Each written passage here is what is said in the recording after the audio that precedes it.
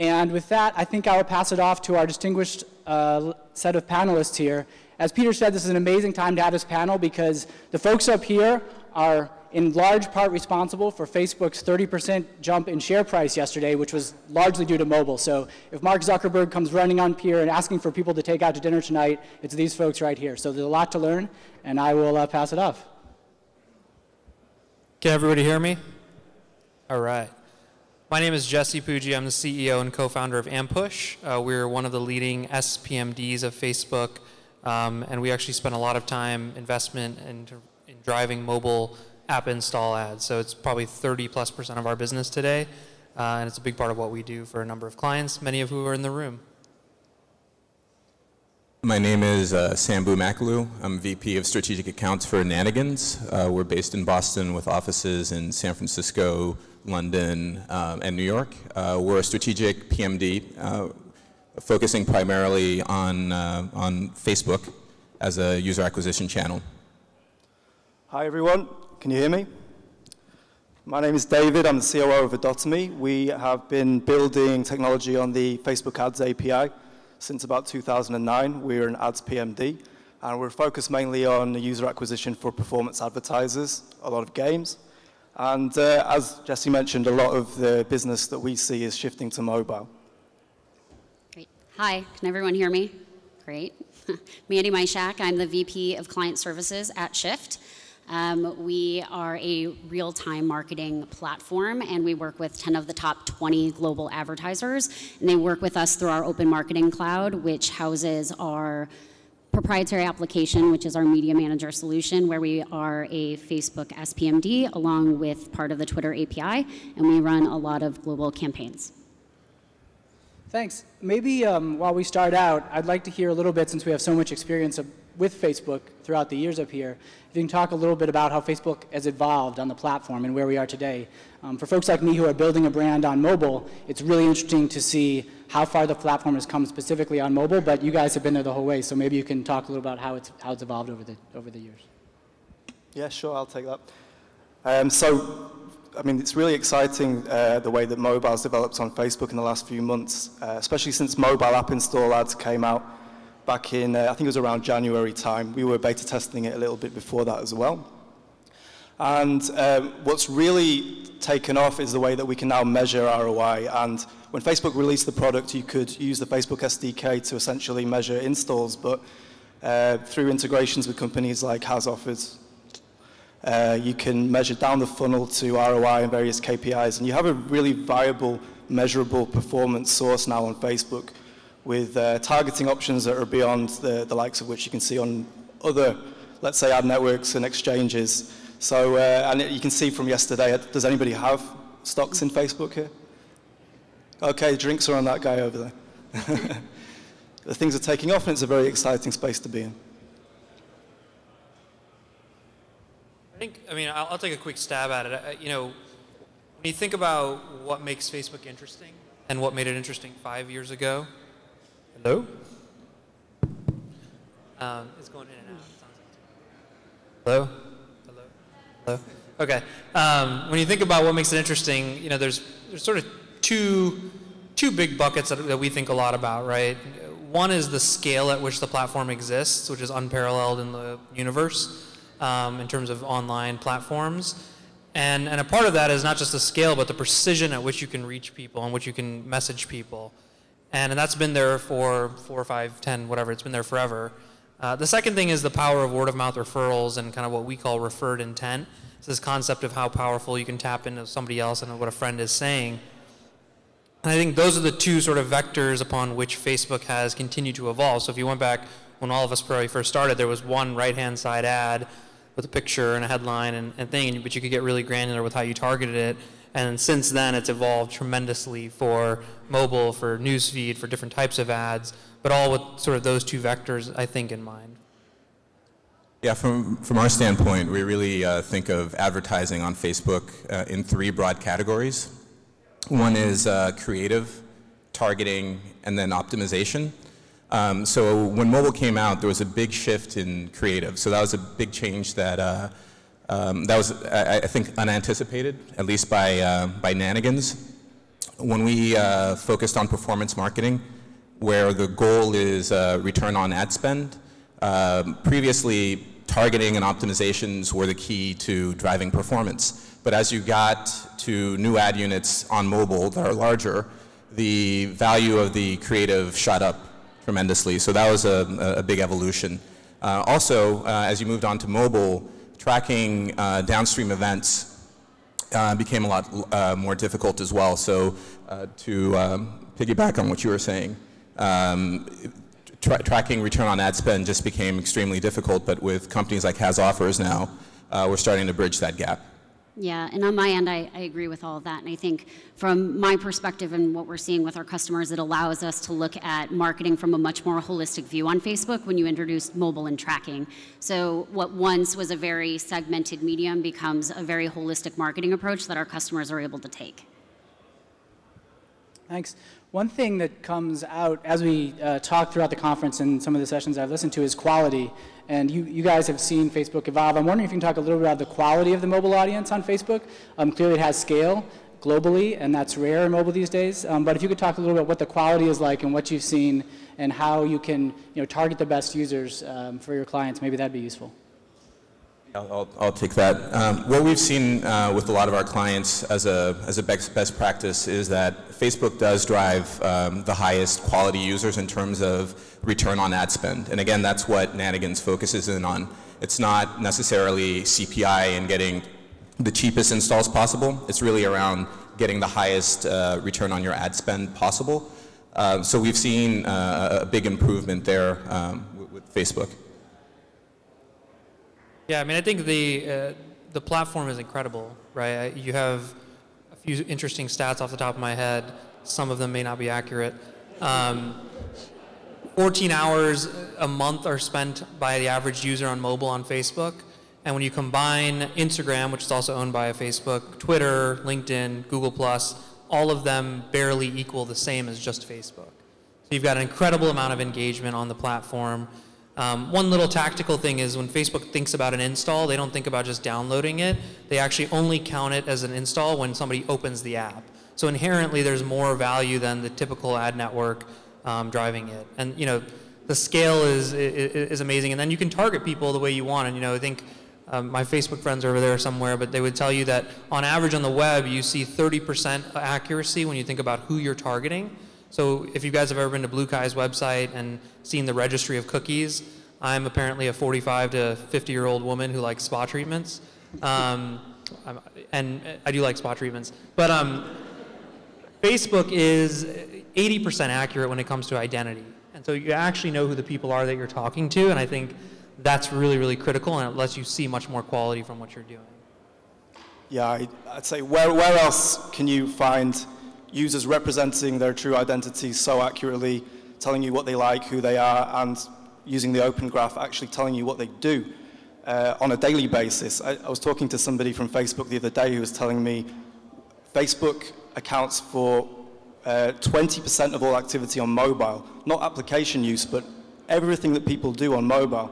So uh, in terms of placement, in terms of engagement, it's completely unrivaled. And with tools such as you know, lookalike audiences, when you can actually put in prototypical data of who your ideal user is based on users you already have.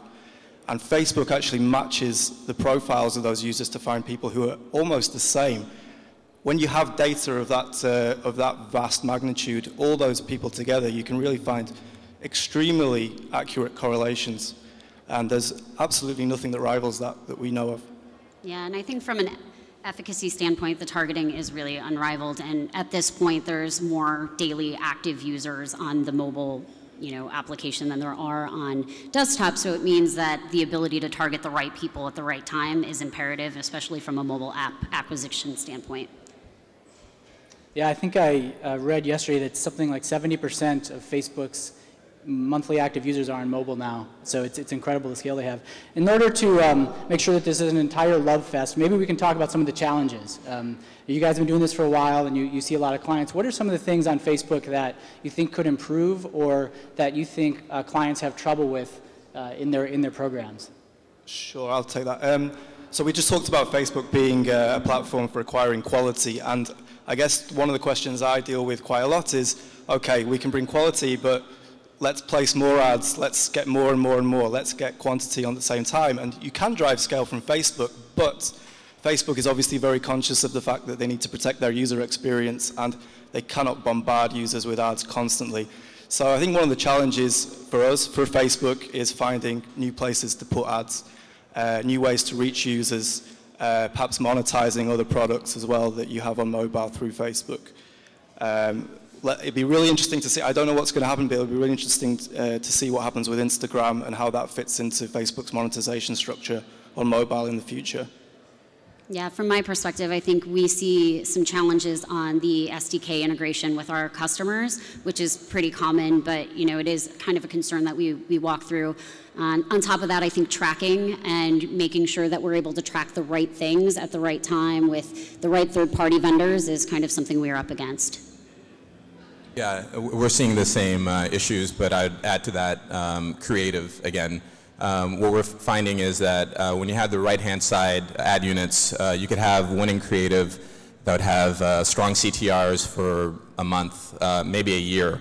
Uh, now we're seeing that when it gets into the news feed, um, people are expecting it to be news. and they may only see it once, and they only want to see it once. So as an advertiser, you need to be very willing to switch out your creative, try new things uh, to see what works because your click-through rate and therefore your CPIs or costs could change dramatically uh, based on the efficacy of the creative that you're putting in front of the users. I see no challenges. Um, no, I prefer to call them development needs, development opportunities. Um, I think the, the, the, number one thing that nobody else said you here. own some stock, right? That, that I don't actually, because my my whole life is tied. No, but so um, the, the, biggest thing that nobody else said here is is complexity of the platform. And you know, if you're a client trying to navigate and understand, it's part of the reason we have businesses, obviously. But the complexity of the platform for an advertiser on day one is can be a little bit challenging, and I think that's something that Facebook's working to to really fix and, and rectify. The second thing is Facebook moves at an incredible pace. It's really it's a breathtaking sort of move fast, break things, and and I think that pace sometimes can be a challenge for for clients as well as partners like us. What do you, um, we've talked a little bit about Instagram and where Facebook has come to today. What are some of the things you, you see in the future? Uh, we all hear about rumors of different mechanisms they're launching or testing or targeting or you know moving fast and uh, you guys have a, a, a, pretty unique insight into what they're planning, um, having been with them for a while. What do you think are some of the next moves they'll be making, or some of the things that this audience would be interested in hearing about that you think Facebook will be taking us next? I think, I mean, uh, the thing I'm most excited about was talked a lot about the earnings call yesterday is that the, the paradigm of a feed, you know, or news feed, which is what Facebook invented, is an incredibly, is an amazing paradigm. It's a shift and it's something that we all, our eyes are glued to all the time. We're, five, ten people are scrolling through it right now as I talk. Um, it's incredibly engaging and, and, it's a very powerful thing. And, and more importantly, it works. And, and the, the you know, thing I like to say is it's the best piece of ad real estate since the paid search results page. You see 1% to 2% click-through rates on it. You're, we're, we're doing everything from generating financial services leads to driving mobile installs of games to selling shoes to driving brand engagement all through this amazing thing called the feed. And I think that feed is going to become pervasive not only with Facebook but with other platforms and it's only 5 10% of the way there in terms of matching things going forward. So feed to me is is the innovation now that Facebook has really driven and it's something that they invented 5 6 years ago but now from an advertiser's perspective it's a really powerful distribution mechanism. Uh, from our standpoint, again, we look at things uh, from three standpoints, creative, uh, targeting, and optimization. So some of the developments that we see from the creative standpoint is probably additional ad units. So um, right now we have the newsfeed app install and um, fairly, I mean, we have the straightforward ad units, but video is probably going to come. So that's going to pose a whole other set of opportunities and challenges. Um, you might have things like click to call where straight from the, your mobile app you can, uh, and, and, you're in Facebook, you might be able to call the advertiser and take action right there. So there's a bunch of stuff that they can do on the creative and ad unit side that they, they haven't done yet. That's coming up. Uh, from a targeting standpoint, I think one of the things that we're excited about down the road is uh, retargeting. So they have the Facebook Exchange, uh, where you can do uh, retargeting. That's only available right now on Canvas. So uh, I think you know once they solve some of the tracking problems, they'll open that up to um, uh, to mobile as, well. And uh, lastly, in optimization, um, we think there's really the opportunity to improve on the custom audiences and the lookalikes. So they're doing very well for some of our clients, uh, but we think um, there's more um, down the road um, for, uh, for lookalikes uh, and, custom and custom audiences. Um, and internally for us uh, at Nanigans, we're working on some tools where you can leverage what Facebook is building, um, such as the custom audiences, to find what's unique about your users. So uh, we have a tool called the affinity analysis tool where uh, if you look at a custom audience, you can build keyword sets uh, to find what's special about your audience. So there's just a bunch of opportunity down the road to leverage data uh, to improve the performance. Yeah, I'm really uh, excited about how uh, graph search is going to develop on mobile um, because obviously Facebook as a platform has been social and it's about being it's about uh, creating demand that isn't otherwise there perhaps. But with graph search you can add a layer of intentionality to the way people consume advertising on Facebook. And it's a interface that just makes sense on mobile and it's separate from newsfeed, so it's, it's more real estate for ads. I mean, when you can tie that into localized advertising and, you know, what did, what restaurants did my friends eat at, for example, with social context attached to that, you really have a whole new ball game on Facebook to complement the already existing newsfeed ads. Going last is hard. Um, no, I think there's a lot of opportunities for, um, you know, Facebook has just streamlined a lot of their ads, and I think that's really impactful for how we work with customers. So, but there still are opportunities when you look at something like Instagram and how they could leverage that, and I think, you know, we're really excited about that opportunity. Uh, one other potential technology down the road might be location. So if you're on mobile, maybe the ads, depending on where you are, as it learns your, your patterns, maybe it shows you different ads if you're at home, on your way to work, versus you know, you're visiting Seattle. So that's maybe something that they might tackle down the road. Interesting. Um, and Mandy, maybe we'll let you go first on this next one just to, uh, to, to make sure that you get your chance. Um, what advice would you give to advertisers who are just starting out on Facebook? So a lot of folks, um, are just approaching this, and especially on mobile, you know, they might be new to they might be new to mobile advertising. They definitely are probably new to Facebook mobile advertising, um, since it's only a couple six months old or so. Um, so, what advice would you give to those people who are just starting out, and how to approach this, and how to evaluate it, and, and how to plan for a future where this is going to be a big part of the mobile advertising audience? Yeah, I would say you should work with Shift, and that should be a good first step.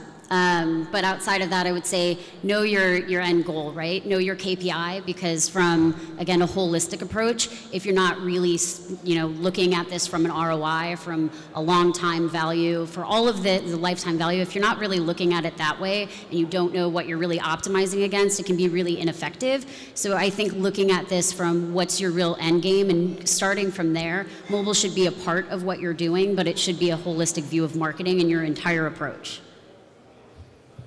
work with Adotomi, um, and get a good BI analyst and make sure your product is really, really good and you can't fail.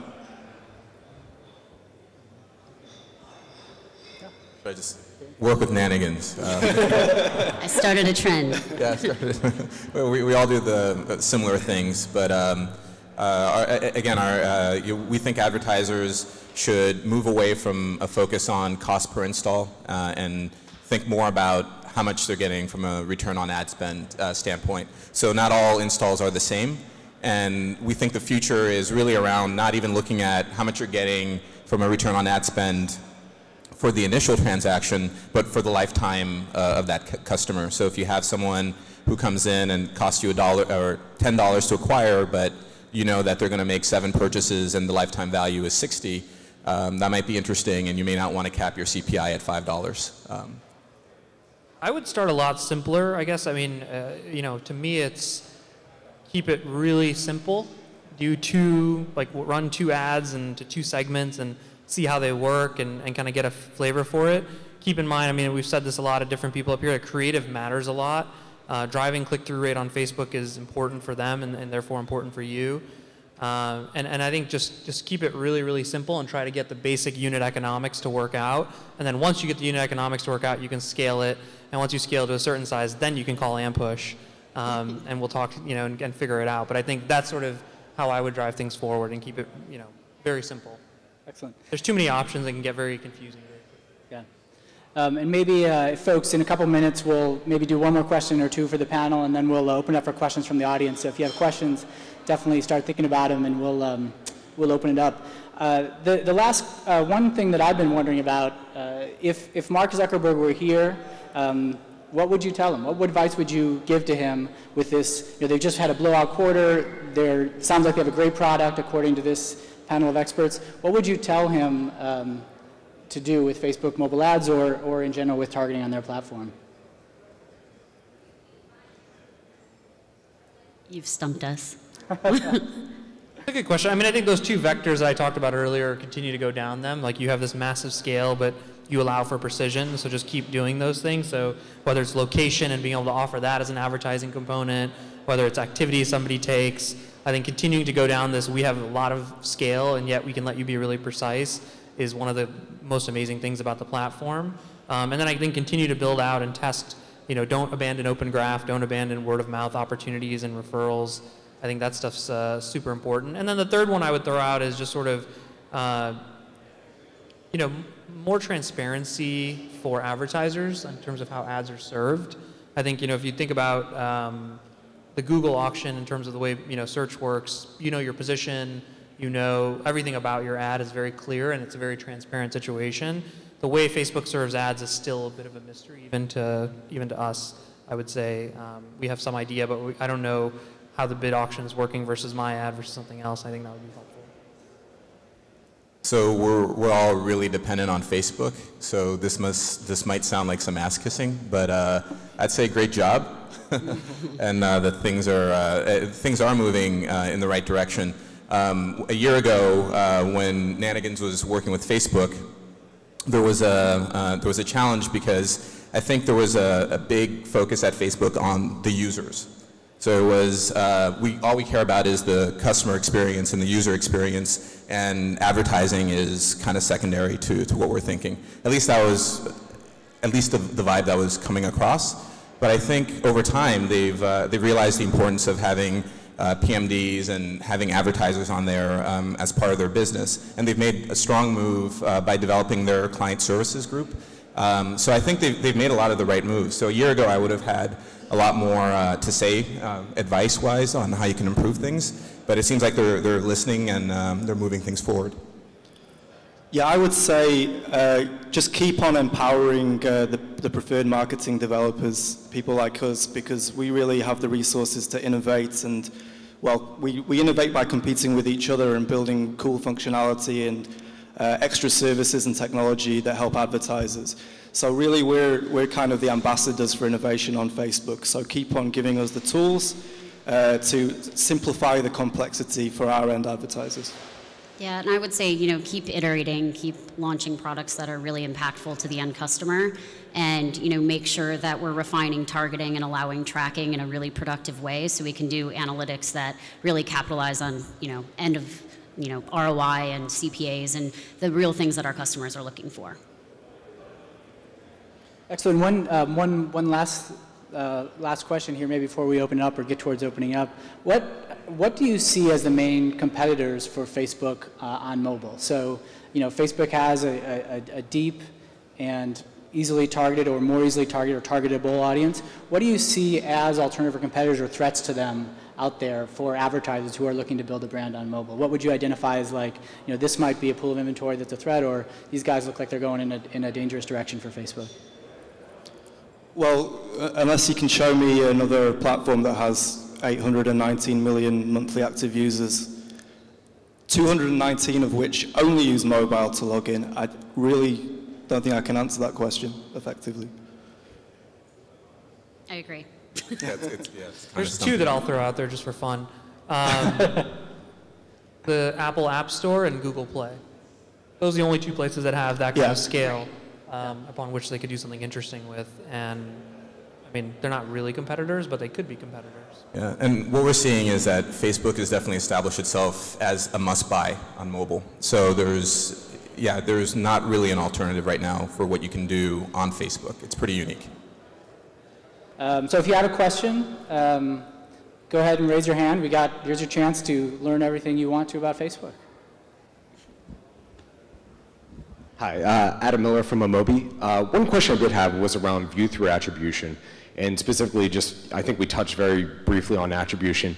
Uh, Facebook, at least to, to, some extent on mobile, does count view-through attribution. I guess the question I do have is, does that run the risk of them, I guess, taking credit for too much, and especially if they're not revealing that to clients up front, or I guess, what's your take on view-through attribution versus click attribution, especially when currently the mobile industry, you know, 95% of it only relies on click.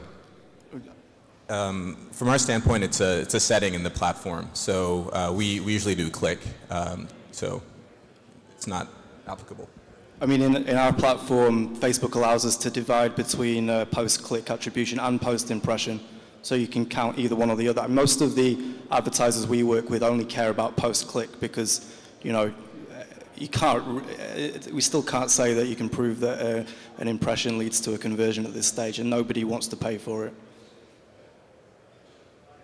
I think it's just a data point that you need to take into account, and I think that at the end of the day, that in a partnership with a client, they can decide how they value it uh, and why they value it in a certain way. Clearly, it, it matters in some some respect, especially if you, uh, which we do oftentimes, kind of create a control group to show that sans impressions, you're actually you're getting less um, so there's some sort of factor attached to it. Yeah, I think it's interesting. Um, it matters more so when it's on desktop, when you're looking at from a DR channel, it makes a lot of sense. From a mobile tracking standpoint, it probably right now doesn't make as much sense, but I think eventually we will get to the point where that data gets more reliable and you're able to do more multi-channel attribution and multi-touch attribution. And I think that's when the game can get really interesting. Yeah, this, uh, Paul from Tapjoy. Uh, given that, you know, as you said, um, you know, Facebook is totally unique and it's like a must-buy. You know, what do you project in terms of what uh, the demand-supply curve is going to look like over the course of the next, you know, year, year and a half, in terms of pricing? I think, uh, you know, no one knows for sure, but I think it's important to remember that Facebook controls the supply side of the curve. Um, and by no means do they have any kind of rule that says every five five posts on your mobile feed need to be a mobile app install ad. And if they did that the way a traditional publisher does it, like NY Times or something like that, you, would see a more common marketplace, but you actually don't have that. And so when you have sort of, you know, supply monopoly, you know, the, the, way that uh, it's not an elastic curve, right? You can't just move the way that typically it moves. And, and, and so I think it's really important to remember that. And, and when we think about that, we think there's a lot more, that means there's a lot more inventory opportunity and therefore pricing will remain much, much more stable than most people probably think when you think of a typical new channel for inventory. So typically you go, oh man, this is hot, it's cheap, I'm going to go buy it. I think it's a very different situation in this case um, because of the way, not to mention engagement's growing and all this stuff is growing, but even then I don't think that, that the inventory wasn't just dumped out in a, in a flat way and said, have at it. That, that's not the way it was controlled or managed. Yeah, and I think from, sorry. Yeah, how, do you see the uh, inventory growing? Is it more people coming to mobile, or it's them opening up additional in inventory somehow on mobile, new ad units? It's both. I, I, I think okay. it's both. I mean, I think it's going to grow, continue to grow, but I, I think the, I think the inventory is being throttled. I don't have you know official information or, or data for that, but I think it's being throttled, and it's being throttled based on how people are matching and what newsfeed is serving to who. Yeah, and, and yeah, we're we're speculating, but um, it seems to me that the, the demand is rising faster than the supply. So that means higher prices, uh, but I don't know. Yeah, and I think from the demand side, it's, um, you know, there's the maturation of like the gaming industry, but we have a lot of other verticals that haven't capitalized on apps yet, at least to the fullest extent. So I think the demand side is growing faster, but you know, that doesn't mean that there can't be more supply. And I do think it's a good point on what Facebook plans to do on that. And if we find out, that would be awesome. And I think, you know, the other thing is even still, and I don't know what, what you guys are seeing at Nanigans as an example, but the LTV sort of versus volume equation is still very positive. Like we have advertisers where we're driving installs for a dollar an install for like a productivity or entertainment app. Those convert to paid subscribers at 5 to 10 percent and then from there you get $120 LTV for somebody because they're signing up for a subscription for an entertainment app. Um, you know, you could double or triple the, the pricing there and it would still be a fantastic, buy, you know, thing for that company to buy. So I, I think we're a long way away from, from any sort of negative, hugely negative effects occurring in that marketplace. Hi, this is Andy with Appia. Uh, just a quick question. Maybe you guys could talk a little bit towards the Facebook strategy of supporting direct advertiser buys versus buys from networks representing um, the portfolio of advertisers, and, and whether you think that the tools are there uh, to support that large-scale buying, or whether they will get developed further in the future. Okay. And you're saying, can I go? I, I, I have a bunch of clients, and I'm looking for things for them. Yep. I want to optimize right. across them. That's right. I don't know that Facebook would be. I think that the, they wouldn't be too happy about that. I wouldn't talk too much about that. Um, I don't know. I, if I'm following you correctly, I, the answer is no, but it's not no because they're not going to offer. It's just like they don't want one advertiser's dollar spend being at all conflated with another advertiser dollar spend, and any kind of like intermix between those two. I don't know if you guys.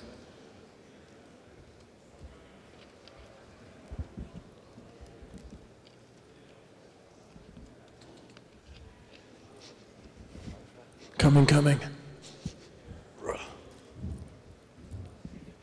A workout, Peter. Yeah. Hi, I'm Jeff with Solemn Consulting. I'm curious what your thoughts are about how interactive television will come into play. With Facebook? Yeah, Oh, Facebook ads, or will it? I have interesting dreams about this. Go ahead. Well, I think, uh, I think I share your dreams. Go on, you go ahead. Uh, well, so there's, a, you know, a couple days ago there was an article that actually, you know, Twitter tends to focus on being the king of TV and TV interaction. I think because of the way newsfeed works, where it's not a fire hose the same way Twitter is, people assume that there's not, and they, they did a study and realized that there's 5x the amount of activity for a given TV show on Facebook than there is on Twitter. So that's an interesting stat worth mentioning. Uh, the, the interactive TV bit uh, maybe that we share is, you know, Open Graph, for those of you familiar with it, the idea that I go to my TV and I say, Jesse Pujji is signed in, sync my Facebook profile. And does anybody watch Netflix with Open Graph?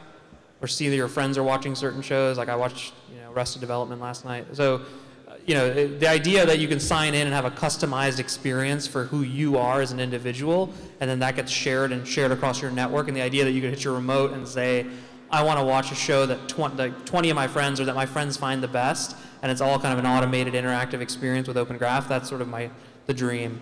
I think it's also Zuck's dream too, but it's still pretty far away from happening. Yeah, exactly. I mean, I'm sure you've all noticed now you can, uh, when you're writing your status on Facebook, you can say that you watched something, and I don't think that's a coincidence. It's you're creating an action on the open graph, which I think I share the same vision. You know, you're watching TV one day and you want to know what to watch, and you can see the rating that your friends gave a particular TV show in a, in a recent time period. It makes a lot of sense. TV is a social experience as well. And there's other things like, have you heard of Bluefin, Bluefin Labs? So it's a company that Twitter acquired. Um, does some really interesting, what I call television retargeting. So it literally knows when you're watching an episode of TV or when you're tweeting about it. So I'm watching Desperate Housewives and I'm like tweeting about it. And um, it sees that I'm tweeting about it in the same period of time and then delivers an ad message to me about, a and about an advertiser who advertised during the same exact segment. So there might have been a commercial for State Farm, and it actually you know, realized that I watched Desperate Housewives. State Farm ran a TV commercial. Let me let me ping this guy because he saw that. It's really cool. So I, I assume you know Facebook can can and will do similar things. Hi, I'm uh, Jay Jessam. I run a company called Appneek. Uh, I have a question for you about uh, on Facebook when you're buying app, mobile app install ads. Uh, there's opportunities to do demographic targeting, and then there's also a bunch of you know, really precise interests that you can specify. In your experience, is one more effective than the other? It, it depends on the client. We, um, we can't say across the board uh, which one works the best, but the Facebook broad categories um, have been very effective, and keyword targeting has also been effective.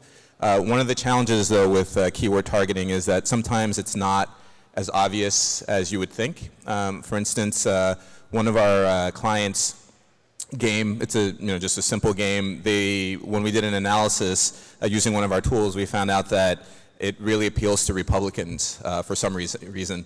Um, and that's not something that would have been obvious just when you looked at the game. It has no political affiliation, but uh, when you're doing the keyword targeting on Facebook, it's so rich that sometimes there's some correlations that are not obvious. So um, it helps to have a tool. I would actually um, talk about another kind of targeting. I mean, we, one of the, the benefits of being a PMD is we have access to more targeting possibilities, not just the, the basic interests and likes who, you, you know, you don't know when somebody liked something or why they liked it or if they still like it now. But uh, the beauty of the open graph is that you can target people based on what they really do in the ecosystem. And uh, so one of the abilities that we have, and it's especially powerful for something like games, which publish a lot of actions on the open graph every day. Um, you know, you can target people essentially based on their behavior, what they're doing in other games, if they're getting to advanced stages in those games. And you can make the analogy with similar applications, dating, finance, or anything else that has uh, integration on the open graph. So to be able to target users by what they actually do and that they do it within a recent time period is far more powerful, I think, than anything you can do through uh, Facebook's standard uh, power editor or ad manager capabilities. Yeah, and I think it's it's a lot of testing and learning. I mean, we all have run a lot of campaigns. We have a lot of industry data to help us inform our decisions, but a lot of the times it's really the optimization strategy behind it that you can see the effectiveness. Uh, this is Kevin from Hotel Tonight. I had a question about um, Instagram video over here. Uh, so there's Instagram video and there's Twitter Vine. I think a um, a vi mobile video ad unit on Facebook is inevitable at this point. So I was wondering what your thoughts were on the kind of impact that could have on our industry. I think one of the most interesting examples um, is mobile app installs, and kind of just to tie it all together. You know, there were a lot of ad, there are a lot of ad networks that drive mobile installs. There's a lot of ways you can drive, drive those, and Facebook invented this ad unit six, nine months ago, and it became by far the largest volume source and best quality, by the way, to get mobile downloads. And I think what you're going to see with video is the exact same thing, is that overnight, almost, it's going to become the largest inventory source for video advertising um, because of the scale of that platform and then all the quality and the precision factors. So I think it's going to be be very big. And then, you know, Instagram, I think they're going to wait on, but I think ultimately that will also be a massive opportunity and inventory source. Yeah, and I agree. It's going to be um, it's going to be huge. Uh, the question is, uh, what kind of video do you show on Facebook in the news feed? Um, is it going to be the same as a 30-second spot uh, that you have on TV today, uh, or is it going to be something completely different? Uh, and, and, and, my guess would be it's going to be something different. It may be shorter or longer. I don't know. Maybe um, um, just different because what we've seen from the creative side in, when you add the social layer is that people don't respond to um, traditional advertising. It, it really needs to be customized to Facebook. I think video ads are inevitable, obviously. I think it's going to bring in, you know, we talked about performance advertising up till now, but this is going to bring in huge traditional advertising budgets because uh, I, I, guess the problem with video advertising online up till now is just people engaging enough with uh, platforms and products where they can see enough of it. But uh, Facebook is, you know, we gave the stats already, people are using it every day for a very long time, and there's a huge potential, almost as much as TV to some extent, uh, to broadcast your message on an exposure kind of goal rather than a performance goal. Yeah, what I'm trying, trying to figure out is, though, you're looking at your news feed. Do you click while you're trying to find your friends' pictures? Do you click on a video to watch it? Is that something that people are going to want to do, or are they going to have to figure something else out? For delivery mechanism? Yeah, I think people will eventually, uh, inevitably click on it. I can imagine it looking a lot like the kind of mobile app install ad that everywhere on it is clickable and leads through to some kind of uh, destination page. Uh, but, you know, like I said, I think they'll cater both for the performance advertisers who want to lead uh, the user somewhere to do something. But there, sh there, should be, from my point of view, just the ability to show a video and kind of count the video views without necessarily taking the user outside of Facebook as well. A lot more Old Spice guys. Something we've seen from the entertainment side uh, with Facebook, and you mentioned all the, the great traffic that comes from Facebook, is a challenge is that they're in Facebook, they're in that environment, and that's what they're doing as we uh, put short form video in front of them, even, you know, this is our ABC, so we have our own content, serving our own ads, uh, something as we try and drive them to either our app or our products and watch the full episode, we see real low engagement because that is what they're doing. So, you know, they may be interested in a short form video that's embedded, but when you try and drive them away or, or really put something a little bit longer in front of them, there's a challenge there because what they're doing is interacting with Facebook. It's a, that's a great point. I, I, think yesterday on the earnings call, Zuck talked about this thing, and, and you know, I, this isn't for sure going to happen, but I think it's one of the really exciting opportunities and visions for Facebook. Is it becoming a utility for data and information? And we talked about graph search earlier. I think one of the things most people don't realize about graph search is like, oh, my friend who lives in Boston and works at Nanigans, right? And, and, and that's who you find.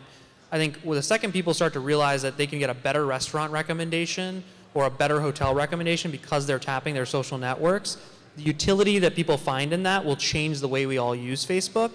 And so if you think about what Grassroots is pointing to, the new news feed, which lets you, I don't know if you guys have seen this, but you can click on music only. And you can just scroll through, what, what music are my friends listening to? You can click through pictures. What are the pictures of my friends that they're listening to?